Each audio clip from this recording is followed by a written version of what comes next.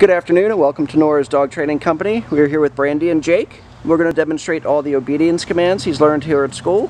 First we're going to introduce the training equipment. Brandy's got a standard 6 foot web training leash and she keeps the bulk of that leash folded neatly in her right hand which leaves her left hand free to make a correction. And the only correction we give is a little tug and release on the training collar which is the second piece of equipment. Now as you'll notice Jake is seated very nicely at Brandy's left which is where all the training starts and stops and the first command we're going to demonstrate is heeling. Heeling is proper leash walking, always on your left, and the command is Jake heel. Now at this point he's got a job to do, and that's to stay even with your left leg, no forging ahead, no lagging behind.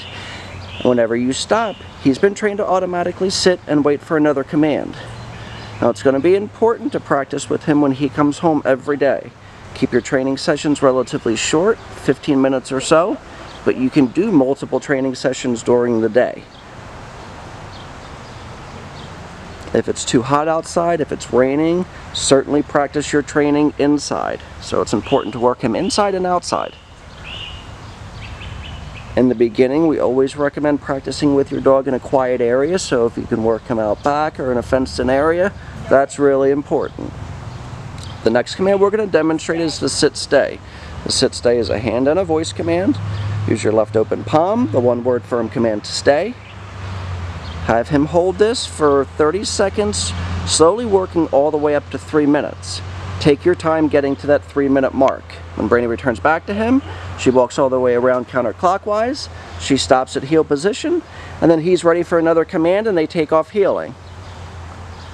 Now we've just done like five videos in a row so you could tell that, that Jake's sniffing some of the other dogs that Brandy's just been working with, a little distracted by their smell.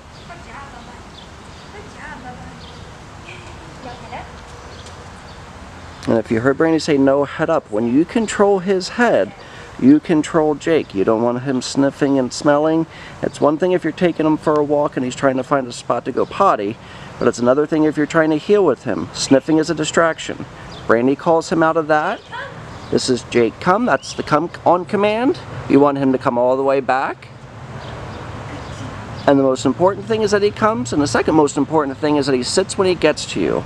So if you saw, if he didn't sit right away, Brandy gave a little tug and said no sit. Because we don't want to greet him and praise him and love him up until he's got all four feet on the ground.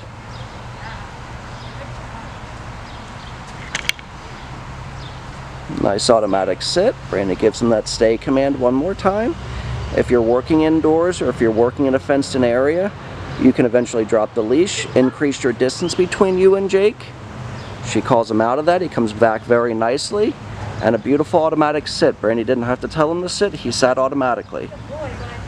You can hear Brandy praising him. We want him to enjoy training, so we do use praise as our primary motivator. That's really important.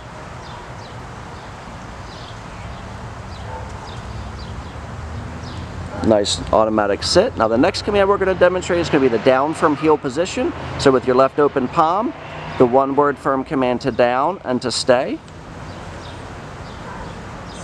With your down stay, start off at about a minute to two minutes, working up to five minutes. Again, Brandy walks all the way around them counterclockwise. She stops right there at heel position, and then Jake's ready for another command and they take off heeling. So the commands that we've either taught or reinforced is proper leash walking, the automatic sit command, the sit stay, the down stay, the come, and the distance down. Another nice automatic sit. Show you that down from the heel position one more time.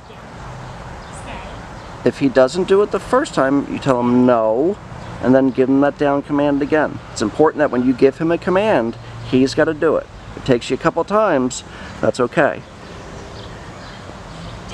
Brandy calls him out of that down stay, uses that leash as a guide. You can see he's putting his nose to the ground, but as long as you have that leash attached to him, you can kind of keep him moving and keep him motivated. he's done a really, really nice job. He's a really sweet boy.